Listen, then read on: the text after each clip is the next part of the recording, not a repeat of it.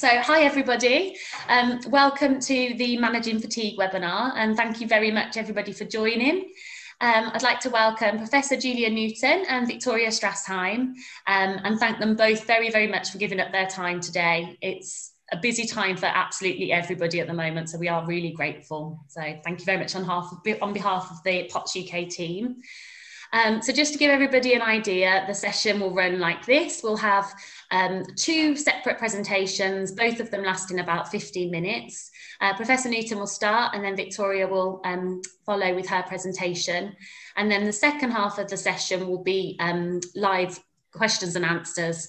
Um, if you can pop them in the chat box as we go, um, so as you think of things, add them in there. And what I will do is I will collate the questions um, throughout the session and then try and cover as broad a range as possible. Um, so we won't answer them in order, we'll answer them, we'll try and group them together and ask them in that uh, format.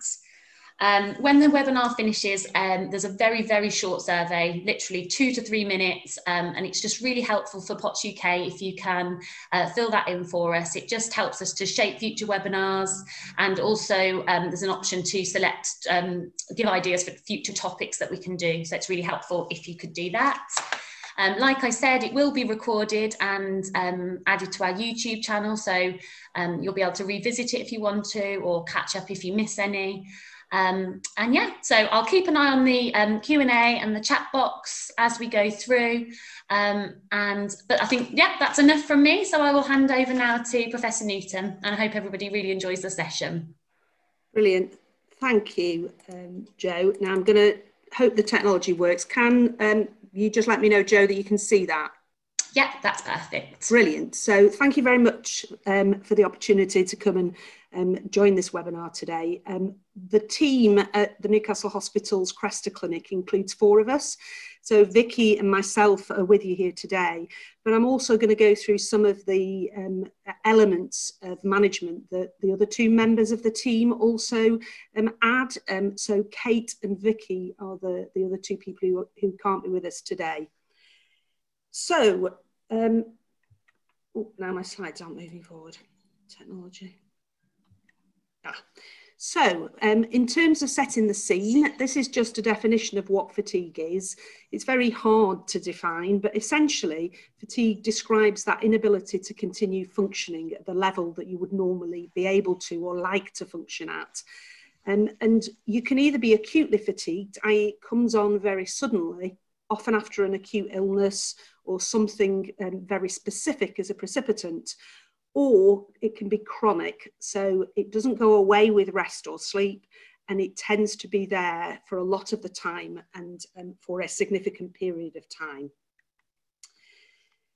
So people experience fatigue in lots of different ways. Um, they often describe it to us in a range of different um, uh, ways.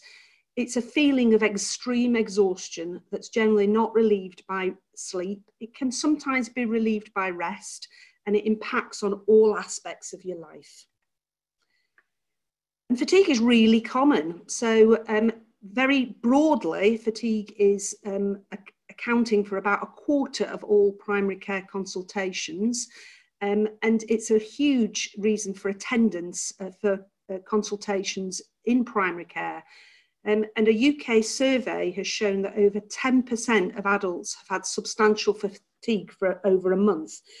Um, that's data that was historic. And currently, of course, with the COVID pandemic, with the recognition that fatigue is a real uh, significant issue with long COVID, reports are increasing with the um, uh, identification and recognition of fatigue.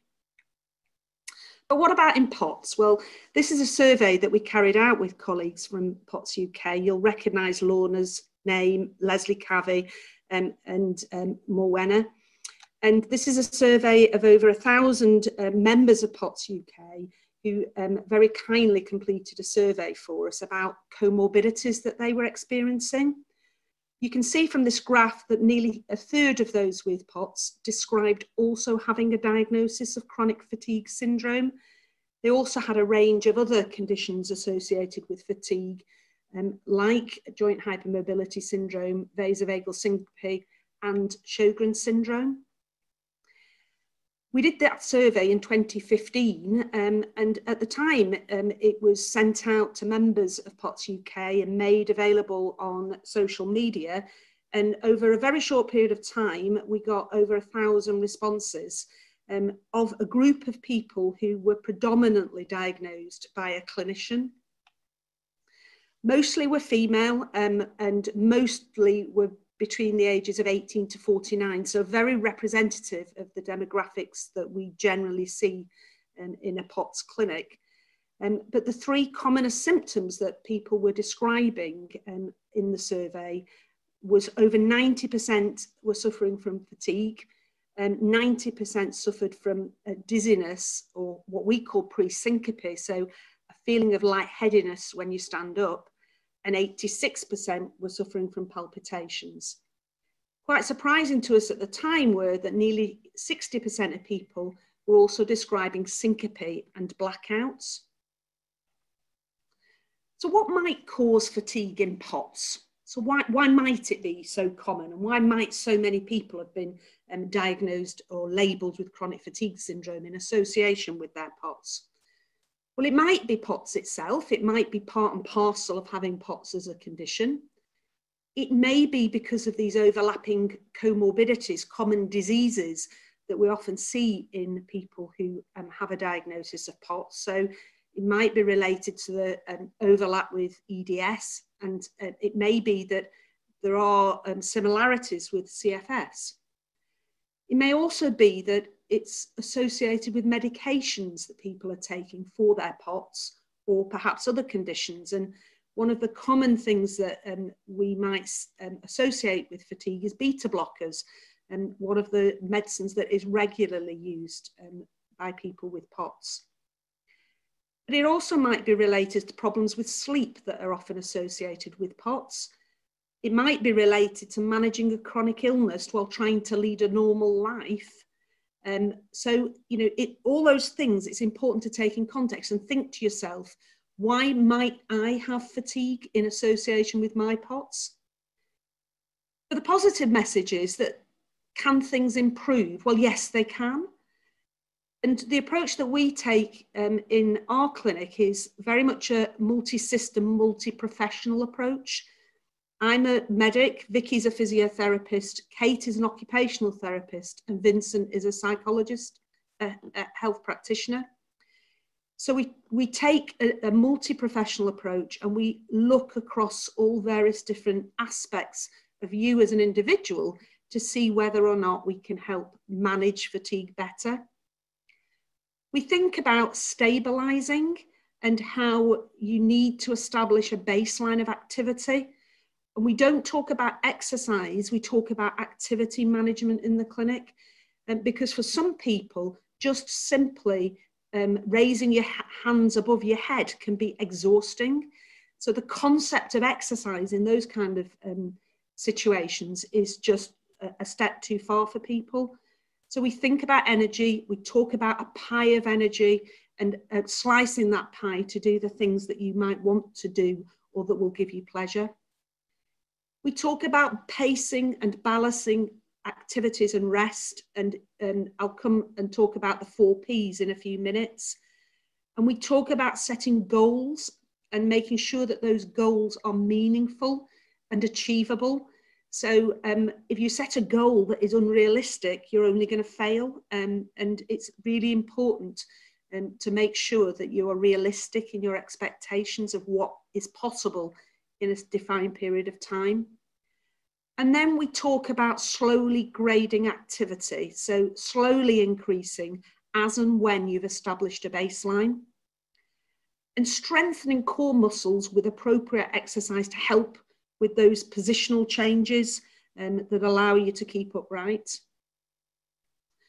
So I'm going to go through a few slides with Kate's advice. And as I've said, Kate is our occupational therapist um, she works um, in the clinic with Vicky and I, and these are a few nuggets of information taken from what she um, delivers in her clinic.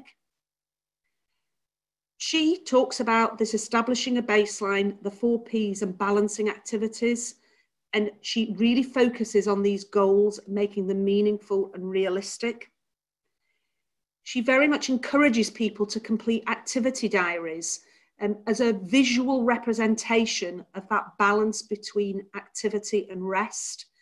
And I would really recommend, uh, if you haven't done this, to spend a few weeks just mapping out your activity to give you an idea of um, what activity levels you are delivering and how you are balancing that with rest and sleep. And by doing an activity diary, it allows you to track your activity and begin to identify um, how you manage your activity, when you crash, and when you have um, activity levels that allow you to function more. It's amazing how often we don't realize how poorly we rest.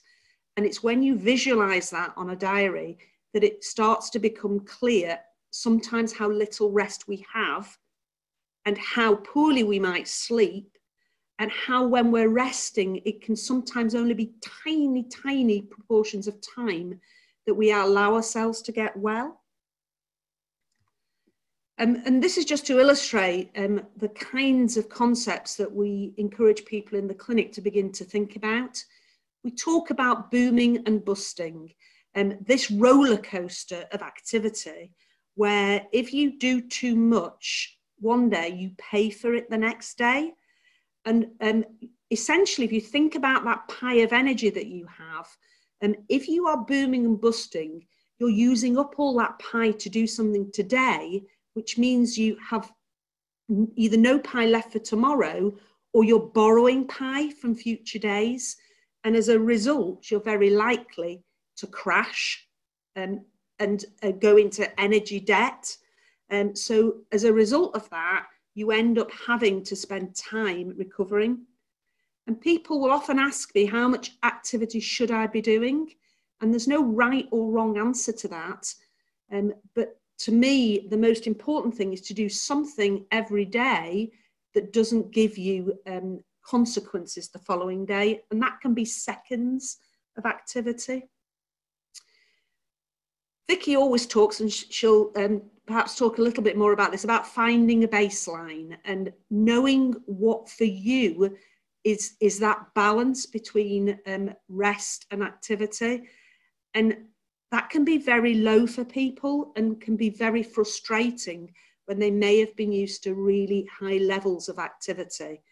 Um, and if you've been ill um, your baseline is is much lower than it used to be and it's about building up from that position back to um, where you can do more of the things that you want to be able to do. So the four P's um, that Kate often talks about are prioritise, planning, pacing and pleasure. And in order to get to the position where you can achieve the four P's, you've got to also understand what constitutes rest so you've got to be able to stop activity that's not always a relaxing experience. So people will often think that they are resting if they are on the computer or on the telephone. And um, using the computer uses as much energy on occasions as going for a walk um, or doing the hoovering. So be very, very careful um, as to what constitutes rest means switching off completely watching the television isn't necessarily rest.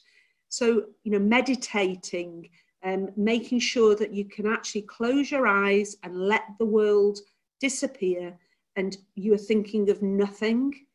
And, you know, it's often really difficult for people to manage that or to understand um, what rest is for them.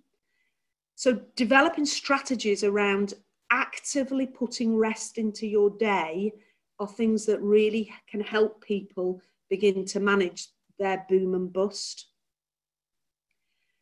And from there, you can begin to build. So once you've got your baseline and you, you're managing to have active rest and you are making sure that you can plan your activity through the week, what begins to happen is people describe a reduced number of crashes and, uh, and less flares up of their symptoms. And as a result of that, they get out of this cyclical activity of booming and busting and then can begin to set themselves meaningful goals and begin to grade their activity and allow them to have small increments in, in what they're able to do. So I'll just have a few slides on Vincent's advice. So Vincent's advice um, relates on how we manage illness. And this is not unique to POTS or unique to fatigue. It's very generic advice. But when we're ill, it's really hard managing that. You have to manage yourself and how you're feeling, the frustration and the anger, the disappointment, um, about the fact that you're not able to do the things that you wanted to do or uh, have done previously. You've got to manage friends and family's beliefs and their behaviours and expectations, which is often very challenging. And you've also got to manage people like my, uh, so health professionals' beliefs and behaviours. And with POTS, that's particularly challenging because there are not many health professionals out there who have ever seen a patient with POTS or recognize it as a condition, let alone know how to advise you how best to manage it. So, in terms of managing yourself, um, we often talk to people about acceptance and that people who um, look at where they are and say, What do I need to do to get better? tend to get better quicker than those who say, I am where I am today, but I want to be like I was a year ago. That constantly looking back and reflecting is energy sapping and, and tends to make people um, struggle to move forward. By accepting it doesn't mean that you like the place you're in, but it does um, allow you to move forward and allow you to start planning and building and put in place positive strategies to get well. Vincent always talks um, um, about being kind to yourself and that fatigued patients generally have a lot of guilt and have a lot of frustration about the situation they find themselves in and often get a lot of pressure when they're needing to rest to just pull themselves together that as a result of that they are often not kind to themselves and vincent is very clear that we need to encourage the patients we see in our clinic to um, get rid of the bad stuff and focus on the good stuff and actually be very kind um, to ourselves and, and positive in what um, we are achieving not focusing on what we have not been able to achieve. And your mind in this context isn't your friend.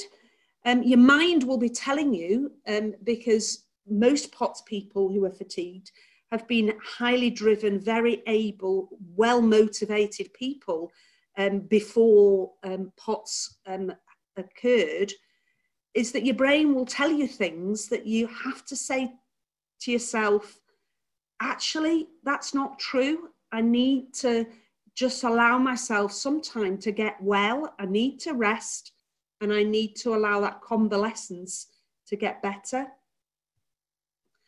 And Vincent recommends strategies focused on these kinds of ideas. Think about what your best friend would say to you if you um, were in a similar position. You know, what would they say? You know, how do you want to be judged? What would you say to someone else if they were your best friend? And then don't over worry about things, don't overthink things or worry about what other people think. Um, and try and spin the whole experience um, positively. So, this is your project around convalescence and getting well. And then, you know, when it comes to managing others, focus on those who get it focus on the, the people who are there for you not those who are the naysayers who might um, make you feel worse or make you feel guilty um, focus on um, those who have positive energy not those that sap energy from you so vincent's summary and, and, and um, a summary in general is that you know being ill is hard work and having fatigue is hard work um, it is difficult to get um, the fatigue better. Um, and it is a challenging um, prospect when you're suffering significantly from a symptom like fatigue, imagining how you will ever get back um, feeling well. Um, so it is important to focus on yourself and to focus on that project of getting well. Be kind and get, get around you people who are kind to you and who understand. Um, and always seek information. And you know, we always point people towards the POTS UK website. Um, so I'm going to unshare my screen now and hand over to Vicky. Thank you. I'm going to try and share my screen.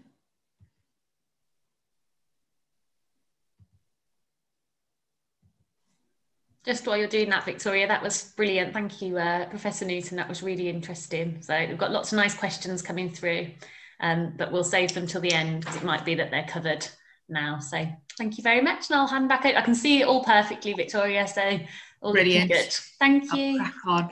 Um, oh, well, thank you for asking me to speak. And thank you to Julia, because you've just set me up perfectly now. Um, I've tried to make this as broad as I can. I understand that we've got a wide audience and the way you present will look quite different. Um, so some of this might be relevant, some of it won't, but hopefully things will come out in the questions at the end. So I'm going to talk about POTS and fatigue but activity, because I'm a physio and I'm meant to. But as Julia said, it's not necessarily exercise. So let me just crack on with my first slide, which is about exercise intolerance. I, it took me a long time to realize this, and I will hold my hands up here. And there is an exercise intolerance issue here when we look at POTS. There is a restriction that prevents people with POTS from being as active as they want to be and it creates these horrible symptoms at relatively low levels of exertion, which are really difficult to manage, that create fatigue and weakness in the active muscles and that horrible burning sensation in muscles and that increased heart rate. And that is what I think I, as a physiotherapist, have to try and help you to manage and to try and work around because we can't go through it. We can't just get rid of it, it's just there. So, one of the first things I try and address with my patients when they come in is to understand what's going on as you move. So, this person here, I've annotated two areas the hydrostatic column, the area between the heart and the head, and the pooling areas, the area between the heart and the floor when they're standing up. And I always have a prop. I can show you my prop. So, I have a bottle of water here. It is 75% filled with red water. It has a heart on it and a head. So when we're in an upright position, our hearts have to pump that blood directly upwards to our heads. The level below our heart, we have to, the muscles and the blood vessels have to squeeze to try and get a little bit more fluid up towards our brains. Can you see that happening? It just squeezes a little bit. That could be fraught with disaster there, but fortunately it isn't. So what happens is when you're upright, that's a hard place to be. It takes a lot of energy. It takes a lot of activity to be there, physiological activity. But if you lie down, that blood just flows towards your brain. So that's a lovely place to be. It's restful. So that's why we see a lot of fatigued patients like to be in this position because it feels calmer and more relaxing. It's where they can rest. But as Julia said, we want you to be doing a little bit of activity every day. So how do we manage that? That really helped me to understand. So I hope it helped you and I hope it came across. At the bottom of that um, slide, there is a link to POTS Dysautonomia International 2016. They've got a lovely animation that shows this. So I'm going to talk a little bit about homeostasis, which is just how all of the systems in our bodies come together, act as little teams to get a job done. They balance each other out. Some systems are more optimized than others. Some work less efficiently, others have to kick in in order to help that less efficient system. So, in the case of POTS, we know the nervous system doesn't work quite so well. Those systems where the squeezing of the muscles and the um, and the blood vessels might not work so well. So the cardiovascular system, the heart has to beat harder and faster to help. So that means the cardiovascular system has to do two jobs it has to work to help the nervous system and do its own job. So that presents that restriction, that exercise intolerance, which means other systems can't work quite as hard as well. So they can't become practiced and become better. Things like the musculoskeletal system, the cardio system, your respiratory system, getting more air into your lungs because you're not challenging it, because you can't, because of the deconditioning process. So all of those issues there are encompassed in your body that helps to balance and balance at whatever level you can. So the deconditioning vicious circle, it's a horrible word, deconditioning. Um, we know in the presence of POTS and orthostatic intolerance, there is a reduced physical activity. It's not because of sedentary behavior. If you could be more active, you would be, but there's this exercise intolerance in place and we have to work around it. So as we try and move more, we get that those horrible sensations. Those horrible sensations, really, you don't want to them again. So it sort of negates working, moving more. And we know that principle of you don't use it, you lose it. So as you don't move diversely, if you don't move more, you reduce movement skill, you, you lose strength, you lose flexibility, you become more stiff, which then makes it worse. You, you don't want to move more because it feels clunky and energy inefficient. That leads on to your reduced cardiovascular capacity and your reduced mitochondria. Your mitochondria are just the, the energy batteries that sit in your cells. The more you are cardiovascularly fit, the more mitochondria you have. Mo Farah is absolutely filled with mitochondria. I, on the other hand, am not so not like Mo Farah. And again, if there was a restriction that I, I felt, I would reduce the, my mitochondrial capacity the same way as I would my muscles if you don't need it, your body's really clever at using what it needs at that time. And if we've got an exercise intolerance, that's forced on us that I don't need as much muscle, I don't need as many capillaries, I don't need my heart to pump as fast in that way. So that leads to deconditioning. But there are things we can do about it if we're strategic. And it all comes down to what Julie has previously said about pacing and rest activity balance and being kind to yourself. So Julia's talked about pacing behaviours, and in clinic, it tends to be people come through Kate first and then they come and see me, set them up, and then we carry on. We talk about boom and bust a lot, people understand that, but there are many um, pacing behaviours, four of them. And I suspect we're not, I'm just persistent or I'm just avoidant. I suspect we're all of them, but in different ways. So it might be you task persistent because you like to have your house all tidy and clean. It might be something else um, but you keep going until the job's done and then need to recover from it. Task avoidant, I can speak um, from all the patients that come in to see me. Again, Julie has mentioned, putting your arms above your head feels horrible. So you might avoid doing it because it doesn't feel very nice.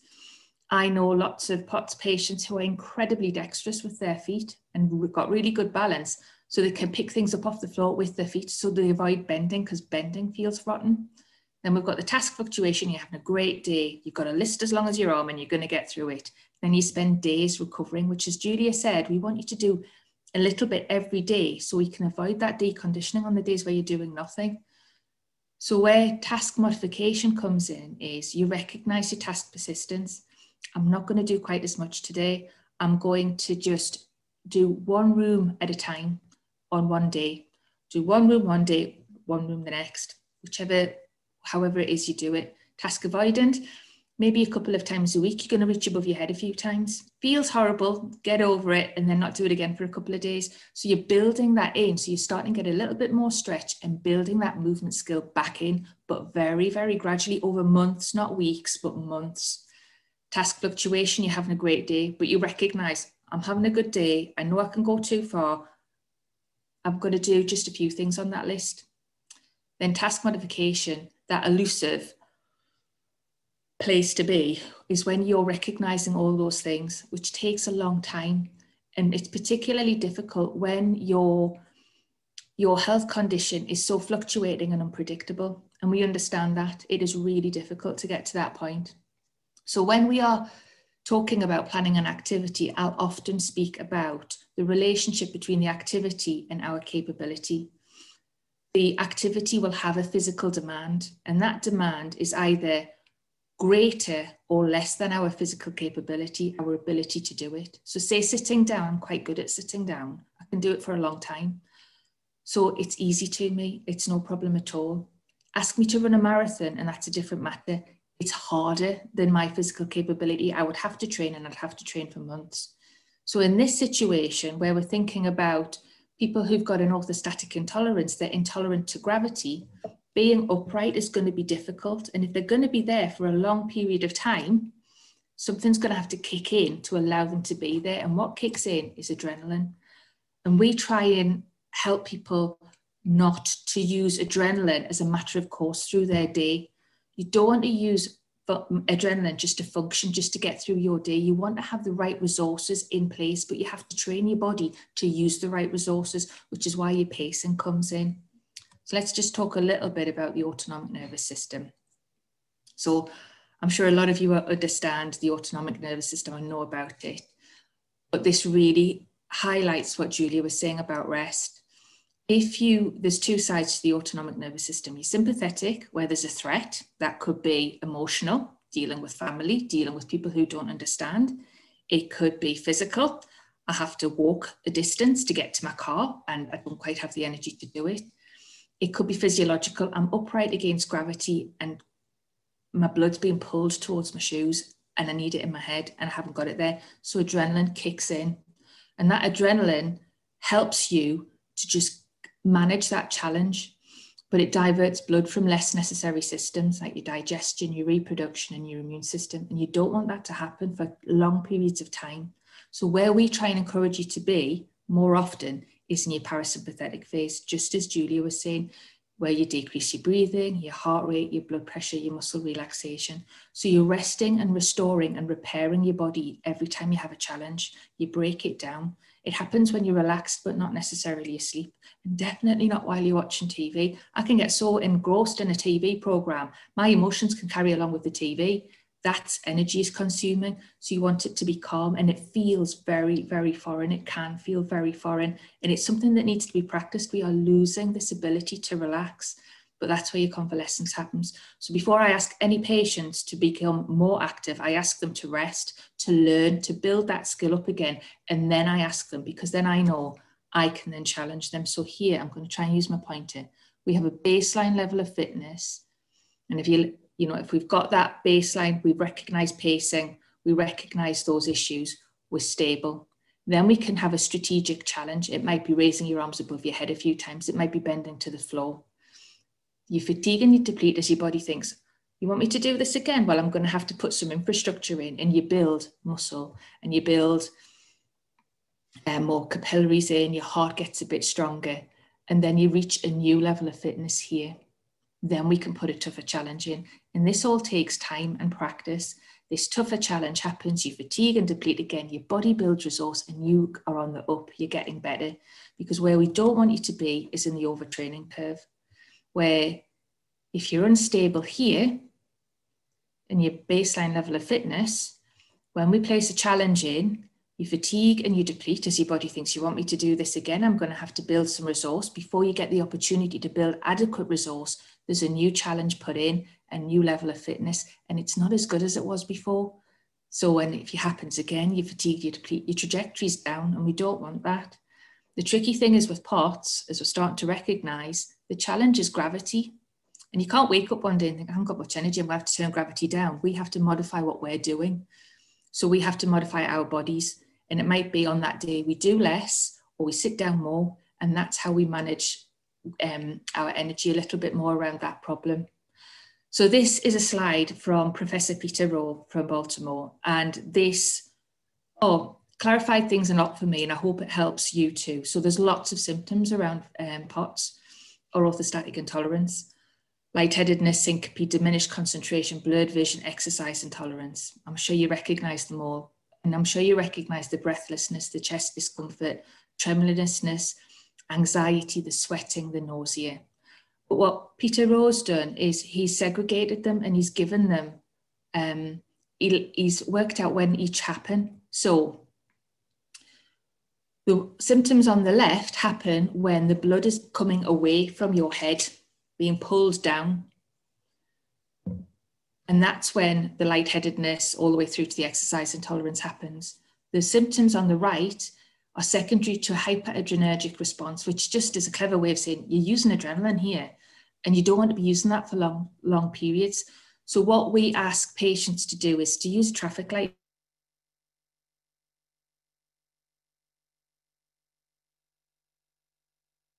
remember you're starting to get some of those symptoms on the left hand side. You maybe want to lie down, you maybe want to sit down, you maybe want to elevate your legs, have a big drink of water.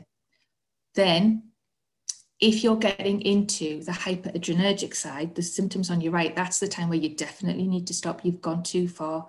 You need to lie down. You need to get your legs in the air. You need to get that blood back up to your heart, into your brain. Okay, I hope that makes sense. It really clarified things for me. So, bringing it all together, Pacing is really important. You have to manage this within your lifestyle, which is pain. You've got to gain rest activity balance if you can. So use adaptive equipment if you need to. If you want to be able to participate and engage with social engagements that really take it out of you, don't I, would never say don't use a wheelchair. Use a wheelchair, use it, use it strategically. You're lowering your base, you're lowering your pooling areas and you may well be able to use your energy in a different way. So you're taking a tiny, a smaller slither of that pie to be in that social engagement because you're in your chair, which means you've got more energy for the next day. Things like perching stools and um, bath boards and um, shower chairs all help, and I would always recommend them, but use them strategically. Ensure adequate hydration and salt intake. You don't want your body to have less fluid in than it already has. You want it to be filled, plumped up, so you've got more blood heading up towards your brain. Use pressure garments to again help that, that process, squeeze it in. And it's not about doing just one thing, it's about doing lots of things in conjunction with each other to build. Once you're stable or you're getting towards that point, start thinking about increasing your activity. And it might be you're going to increase your resource in your muscle pump um, muscle tone. So wiggling your toes, paddling your ankles, static glutes, static quads, heel raises to really build those muscles up so there's some tone there and they help to act as your pressure garments. And then in conjunction with your pressure garments, you'll get a, a better response. I also say first thing in the morning, have a big drink of water. You tend to be more dehydrated and that just helps the process of getting up out of bed. Challenge the flexibility and um, strength, but you can do that while you're lying down. So your heart's not having to do two jobs. It's just working on the muscles, not having to compensate for you being upright against gravity. So you can build your strength in lying and then transfer it up into standing. The last thing that we try and do once you're stable is we encourage cardiovascular activity once you're stable. It's the last thing we would suggest. One of the ways we do that is you can see on the screen there, there's some static bike pedals. And I get my patients to use them in lying. So again, the heart can concentrate on getting the blood to their legs and to their quadriceps, the big muscles, rather than getting it to their brain as well. So we just sort of divide and conquer. We're doing the one job, not both of them simultaneously. As you get better at being on the bike, you can then come up into sitting and then you could start doing more walking, see if that helps, or use walking as your outcome measure. Am I able to walk a little bit more, a little bit further? Hope that is um, clear and I'll stop sharing my screen now um, and happy to take questions. Thank you very much, both. That was absolutely fascinating. I think so many good tips and so much useful information for people to take away and kind of try and digest. I think it's really useful that we can record the sessions with your permission because I think it's people really like to be able to go back and actually listen again. Um, somebody did ask if you'd be willing to share the slides. Is that possible? That's fine. Yeah, absolutely. Brilliant. Okay, so we will um, circulate those um, maybe via Facebook and our newsletter um, shortly after in the next few days or so. Right, though, so we had loads of questions. I've tried to have a look at the ones that you've been answering live, so we'll try not to have any duplication. Um, so let's have a look. Um, what are your opinions on patients who choose to use wheelchairs? Um, some people claim that it improves their quality of life, but my doctor says it can lead to deconditioning. So, what are your views on that? So, I think Vicky just answered that actually in her talk, and that the reality is there's a time and place where wheelchairs can, um, as you say, improve people's quality of life, and that is really important quality of life. So, providing you use it in that context and not necessarily all the time but you, if you if you're not able to get out, your world gets smaller and smaller and smaller. Whereas if you're able to get out, be it in a wheelchair, it allows you to do more. It improves your mental health, and it will allow you to be more positive about um, everything that's happening, you know, to you physically. So, I, I, that my view is do what you need to do to carry on with your life. Vicky, no, I completely, yeah, I completely agree. I think it's we know there's an exercise intolerance here, and um, we do want you to be as fit as you can be, but there's a limiting factor here. But just as Julia has has said, you've got a quality of life that you need to maintain. So if that means you can go out and you can visit the people you want to, and you can go and have the meals you want to, and go to the cinema, use your wheelchair. If as long as you're not doing, I'm avoiding standing up all the time, brilliant. No, just keep, keep use use what you need to do to, to live the life the way you need to live it with quality. Okay, brilliant. Thank you. Um, a couple of questions around the best way to get people to understand the level of fatigue, and another one where somebody's partner gets frustrated that they have low energy levels, but then they're, they're able to throw everything into a work project, for example. So, how to make people understand, you well, know. I think that um, one of the things I would suggest is showing people the graphs that were in my talk and Vicky's talk. Because you know thinking about it in the context of a, a, pie of energy and you know your pie as somebody with pots is smaller than my pie. That's the way it is at the minute. But you know you choose to use up your pie to do things. Now that might be you use all of it to do a, a work project today that means there's nothing left in that pie of energy to allow you to do anything else um, and you know, we then talk about borrowing it from the following day. But then if you've got something important that you want to do on Sunday, you might actually save pie up in order to do that. And people start to manage their energy levels like that. And that's when you when you get to that point where you're managing it, that's beginning to get to a baseline that you're, you're understanding. And from there, you can begin to do more positive. So trying to you know show people in your family the slides show them the information on the pots uk website uh, the more people that understand who live with you and are around you the better your quality of life will be. They don't care what people think. That's i have so many people who come into clinic who feel you know feel so bad that they can't go and visit their mother-in-law at christmas. And it's sort of like who cares? You know just do what gives you pleasure.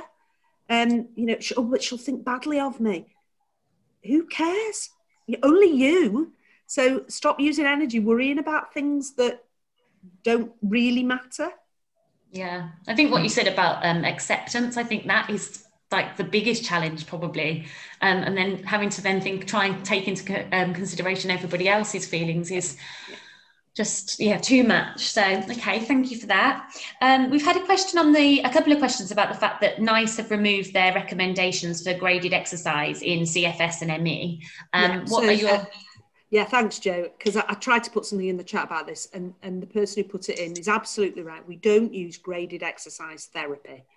Um, so that's a very protocol driven um, uh, intervention. So um, the, you're absolutely right. The um, NICE guidelines are now in the draft and no longer recommending graded exercise therapy. We have never used graded exercise therapy. Our approach is very individualized, so it's it's not about you follow a, a, a path that you're on, a, um, that everybody's on. Um, everybody is individualized in terms of their management, and it's about um, finding um, things in your life that allow you to um, create a baseline and then we increment so I, I, was it was a mistake using the word graded because it has connotations. We increment your activity and you know 10% of two seconds of standing up is is a very small amount. It's not a set amount. It's about a, in in your mind thinking about well i'm going to try and do a little bit more today. And we say you know, try and do 10% more than you today than you did yesterday. Um, so yeah, I, I, hope that's reassured people that w- we are not and would not recommend graded exercise therapy. Um, yeah. Brilliant, thank you.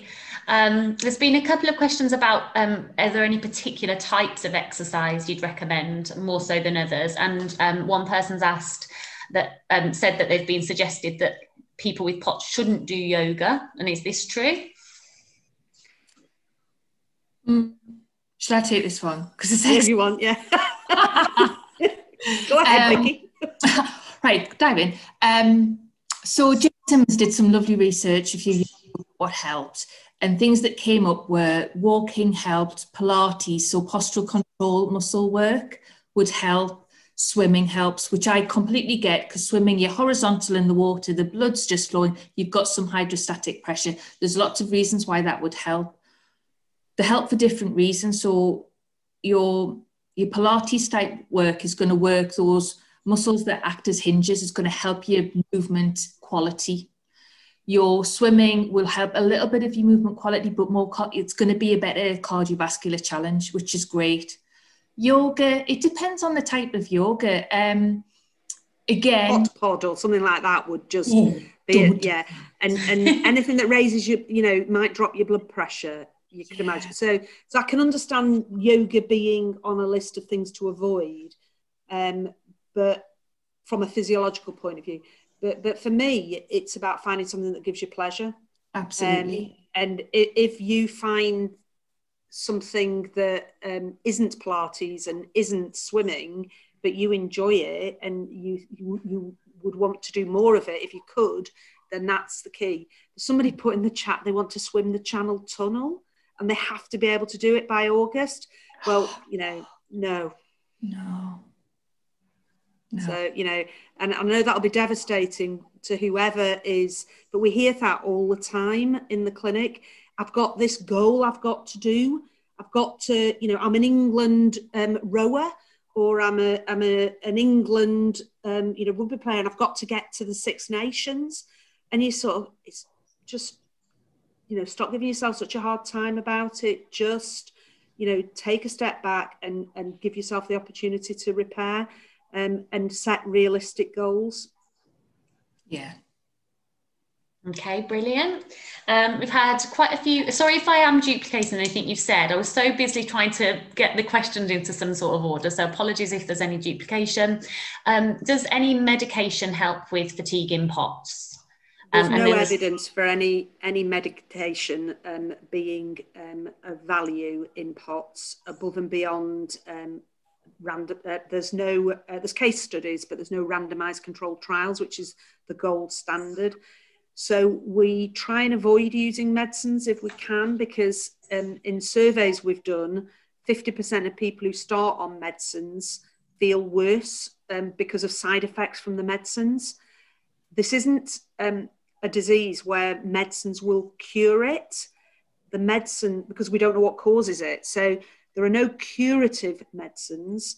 There are only medicines that give you symptomatic benefit. So they might control your palpitations, um, or they might control one element of the symptoms that you're experiencing. But that unfortunately, as yet, we don't have treatments that are curative, and we don't have treatments that that specifically treat the fatigue.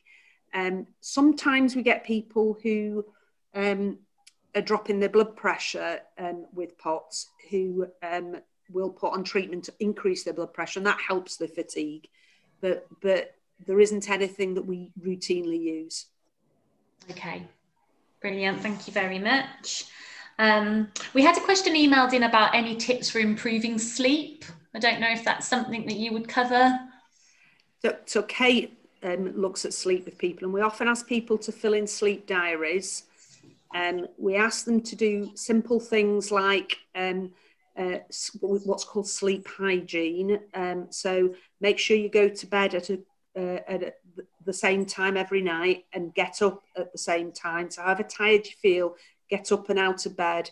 If you start finding that your biological clock is changing or get you're sleeping for longer periods of time, that it's really important to try and address that if you can.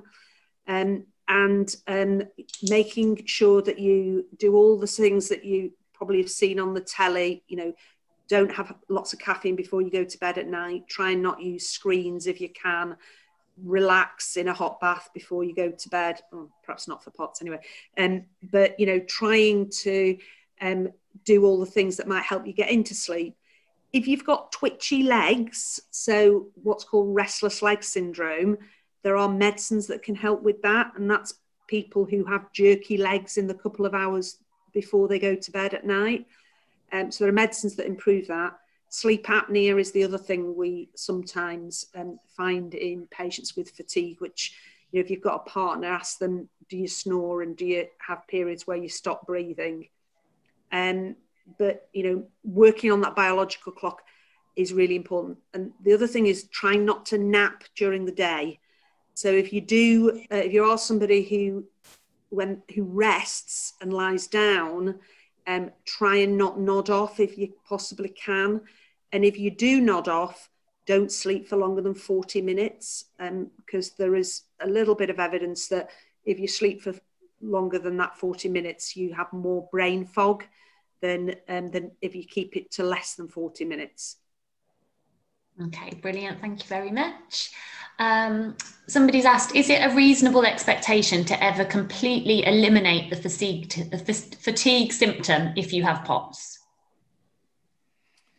Um, I would always set my standards very low because if your standards low, your, your expectations low, you're never going to be disappointed. It's going to be something that's there forever.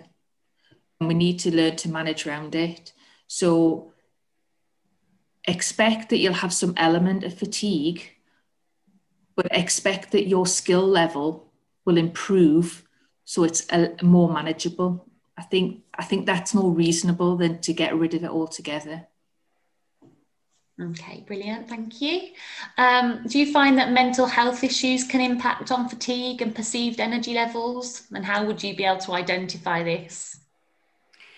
So, um, yes, so there are primary um, mental health issues. So, people who have bipolar depression or psychosis, etc., who have POTS, because you know, mental health, primary mental health issues are very common. And um, the medications that people are on for primary mental health issues and um, the um, associated um, uh, problems that go along with that can be exhausting and lead to fatigue. So um, people who've got a mental health diagnosis may um, get POTS and may suffer problems but there are clearly secondary, what's called reactive mental health problems associated with having any chronic illness. So people will often get reactive depression and anxiety, um, and and um, as a result, um, those are both exhausting.